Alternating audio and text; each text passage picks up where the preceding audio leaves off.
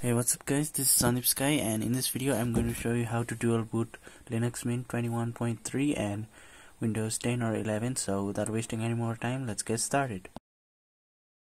So first of all open your web browser and type Linux Mint and then click on download from the official link of Linux Mint.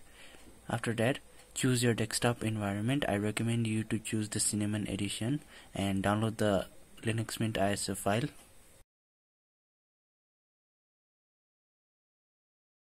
After that, open another tab and search for Rufus and then click on the official link of Rufus and download the latest version of Rufus to make a bootable USB of Linux Mint. Now insert your pen drive which is at least of 8 GB and please make a backup of your pen drive data before proceeding. Now go to your downloads directory and open Rufus. Now select the Linux Mint ISO file which we just downloaded earlier.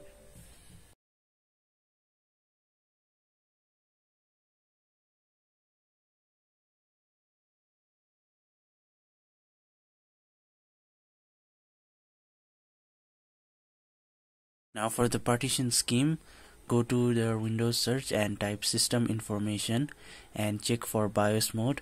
If it is UEFI then you need to select GPT otherwise you need to select MBR. Now after that click on start and it will start creating a bootable USB of Linux Mint. This process is going to take some time so I'm going to fast forward this part.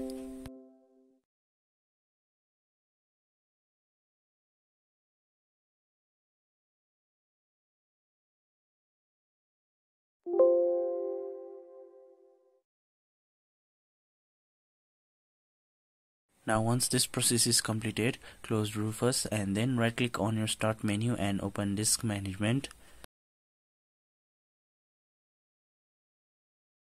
Now after that, choose a local disk with large volume and then right click on it and select shrink volume. Now give at least 40 GB of space for Linux Mint and then shrink now close everything and it's time to reboot to Linux Mint ISO from USB. Now while your PC is restarting, press either F12 key or escape key in some laptops to boot into the boot selection menu and choose USB option from the list.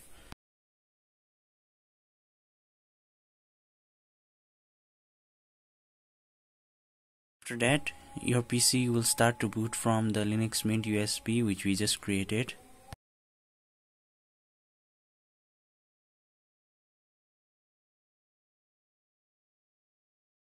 Finally we have booted into the Linux Mint Live ISO.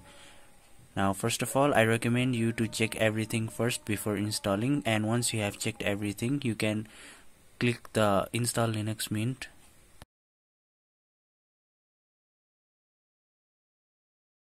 now it will open up a installer and it will ask you to choose a language and then your keyboard layout.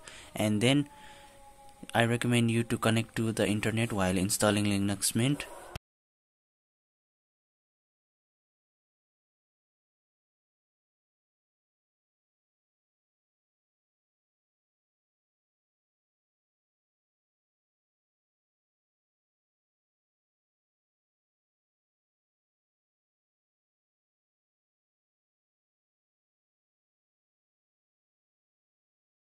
Now if you have secure boot enabled then choose do not configure secure boot. After that for partitioning choose the something else option at the bottom.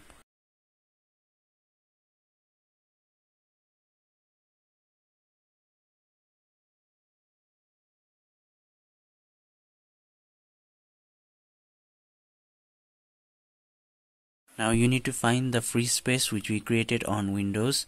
As you can see this is my 40 GB free space. Now select the free space and then click on the plus icon.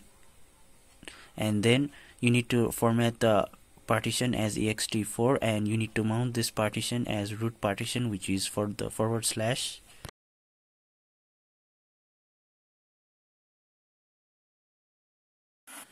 Now for the bootloader installation if your system is UEFI as you have seen earlier from Windows system information then you need to select the option with Windows boot manager on it. Otherwise you can leave the bootloader installation option as default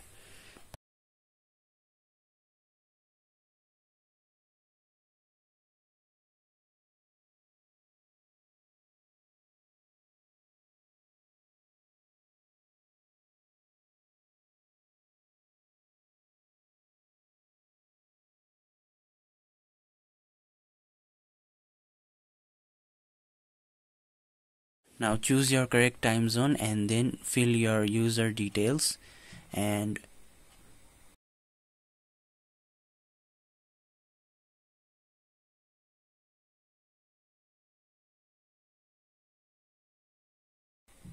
after that it will start installing Linux Mint.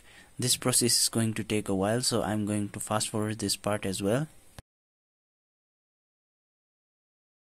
So finally Linux Mint installation is complete now click on restart now and it will ask you to remove the USB first before restarting. So just remove your USB and press enter.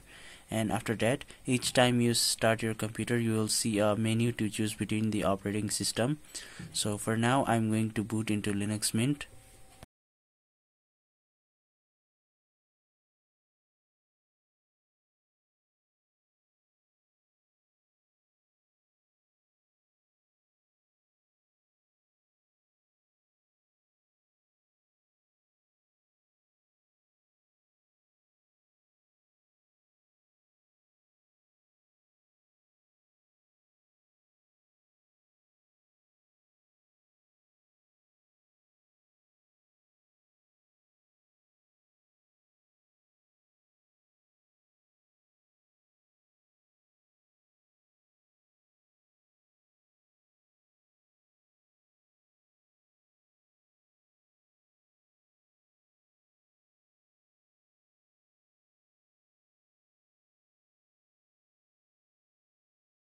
So as you can see we have installed Linux Mint successfully. Now let's try to reboot and boot into Windows to check if our Windows is working or not.